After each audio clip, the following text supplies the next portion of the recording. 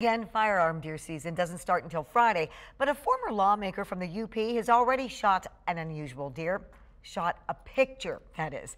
Steve Lindberg posted it on Facebook, and you could see the deer has three antlers instead of just two. A veterinarian says the deer is normal and healthy, but it is likely a birth defect that is probably, get this, one in a million.